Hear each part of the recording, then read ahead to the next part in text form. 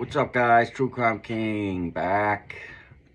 Um, going back to the Kohberger case for a little bit.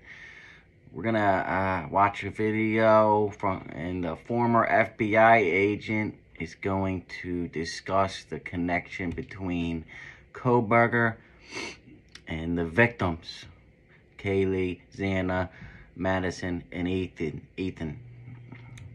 So let's see what he's got to say. Hit that like and subscribe. And here we go. There are some new details coming out tonight about alleged reports surrounding the Idaho murder suspect. Early this week, People magazine reported that Kohberger ate at a restaurant where two of the victims worked as waitresses. News Nation spoke with Steve Helling, a senior crime writer for People yesterday. This is what he had to say you know, whether or not his paths crossed with the girls there and whether or not that's where it started, that's something that the cops would know for sure. But we know for sure that he ate there at least twice. But now the Mad Greek restaurant is rejecting reports that alleged killer Bryan Kohberger dined there shortly before the murders. In a Facebook post, the restaurant saying, quote, this will be my only response to the story from people. It is not true. Okay, so we have Mad Greek coming out and saying that it's not true. Mad Greek themselves saying that Bryan Kohberger never ate there. I guess people uh, are trying to come up with some kind of connection. Uh, and, you know, they can't find one, I guess. And they're trying to say that because he, maybe he was a vegan. Uh, and Mad Greek isn't even a vegan restaurant. They, I mean, they do serve some vegan dishes, right? But uh, yeah, Kohberger, he won't even eat anything if something has been used or to touch meat, right? So, yeah. But uh, yeah, let's see what else they got. Now, this comes as new documents released this week show a laundry list of items seized from Kohberger's home. This includes a red stained pillow, mattress covers, along with nitrile gloves and receipts. The release of that information came after the judge in the case expanded a gag order on who can and cannot speak to the media, and it now includes the victims' families and their attorneys. So we want to bring in Tracy Walder here, former CIA officer and FBI special agent. Tracy, it's great to see you. Thank you for being here.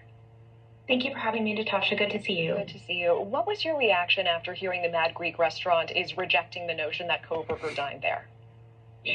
You know, part of me thought, okay, well, this is just false reporting then on behalf of People magazine. But then I realized that there is a gag order in place. And, you know, if information did get out, there could be legal consequences for that. And also, it can affect the ultimate prosecution of Bryan Kohberger. And so part of me wonders if the owner is trying to sort of walk that back a little bit. So that that's really where my thoughts were. Interesting. And we've also heard in reports that the alleged killer attempted to message one of the victims on social media. What are your thoughts on this?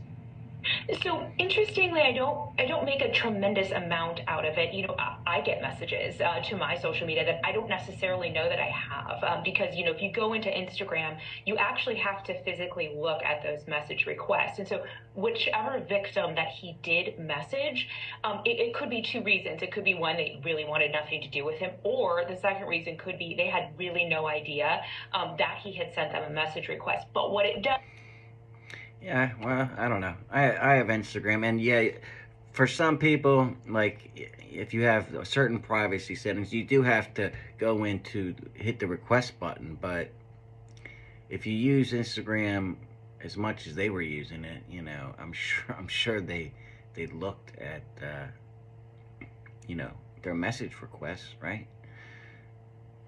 I don't know. I mean, why would why would you never look at your message request? But that's my opinion. But does point to is the fact that Kohberger did, in a way, sort of have that tertiary contact. But we do know for a fact he did message uh, at least two of these girls on Instagram, right? So if there is a connection, then maybe they did talk on Instagram or online. But uh, yeah, the Mad Greek uh, can be ruled out right now. I mean, you just heard it from Mad Greek themselves, right? Um, with one of the victims and perhaps made more out of that contact than perhaps they did. At this point, do you think that he specifically targeted one or more of the victims? You know, I, I always, you know, hate to hypothesize. I I personally do think that he targeted one of the victims. Um, I've, I've, kind of maintained that uh, from the beginning. And my biggest reason, and I think Mr. Goncalves said this, was that he didn't have to go upstairs. That's really my biggest sort of indicator as to why I do think that he targeted one of the victims. That's incredibly risky um, to do, and it really accelerated his chances of ultimately being caught. Yeah, well, that does make kind of some sense though, because you know he he he killed everybody on the day that you know Kaylee wasn't gonna be back again, right? So this was like his last chance, kind of with that like that Stephen McDaniel case. You know, the girl he killed, Lauren, was moving the next day. So really, it was either now or never, and I guess he he chose now. So.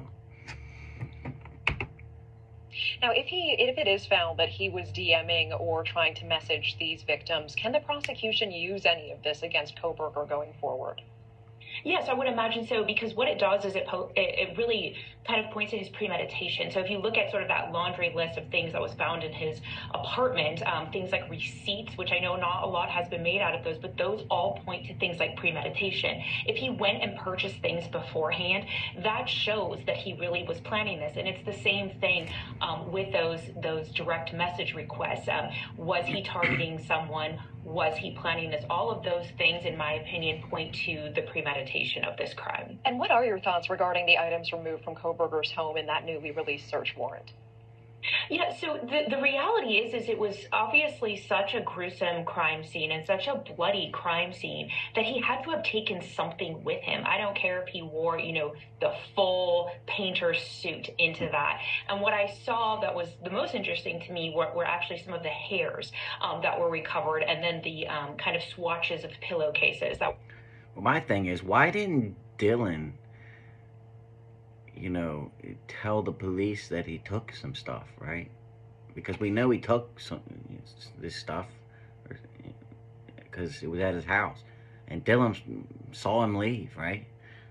Why didn't uh, you know? And and she saw him good enough to see his eyebrows. Why didn't she say that he had this something in his hand or this or whatever? You know, I don't know. It's kind of weird that were also recovered. And so I'm wondering if from those things they're going to able, be able to actually place the forensic evidence of the victims um, into his apartment. So that was one of the bigger uh, takeaways for me from that that and one last question for you, Tracy. The gag order is extensive from this judge. We now know, know that more than 20 news organizations, including the Associated Press, are forming a coalition. They're asking the judge to narrow this order why uh, have such an extensive gag order? Is this the right thing for the judge to do?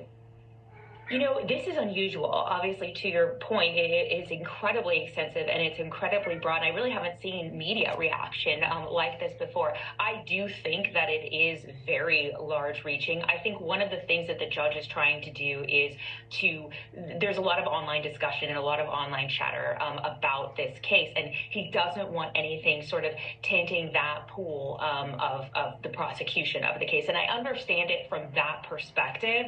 Um, however, I do think think that this is a bit of an of an overreach, and especially how it affects the victims and their the victims' families and their ability to talk about this case. Right, Tracy. Well, yeah, that's about it. But uh, you know, the media has to bring uh, things like this up, like like the Mad Greek has to respond because there's there's people on YouTube like you know that just gobble and gobble, and uh, you know, just make up stuff to try and get views, right? You, you, they're not just going with the facts and, and going from there or the evidence, right? They're just trying to make something up to get views and likes. And then the media has to respond because people believe it so much. But that's my take, that's my opinion, and I'm allowed to have it. So until next time, True Crime King, out.